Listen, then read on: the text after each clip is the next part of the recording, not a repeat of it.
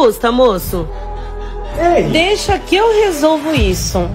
Essa bolsa aqui, você não vai poder pagar. Eu não pedi a sua opinião. Eu quero saber quanto custa.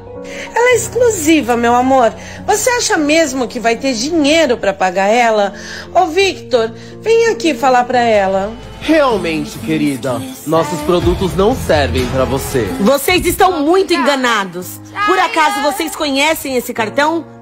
Se conhecesse mesmo, saberia que ele não tem limite. Olha, me desculpa. Imagina que eu ia deixar de atender uma cliente assim tão querida como você. Tá vendo? Eu te avisei que ela era rica. Você não quis acreditar, viu? Sua cobra mentirosa. Realmente, aqui não é o meu lugar. Eu vou embora. Senhora, me desculpe.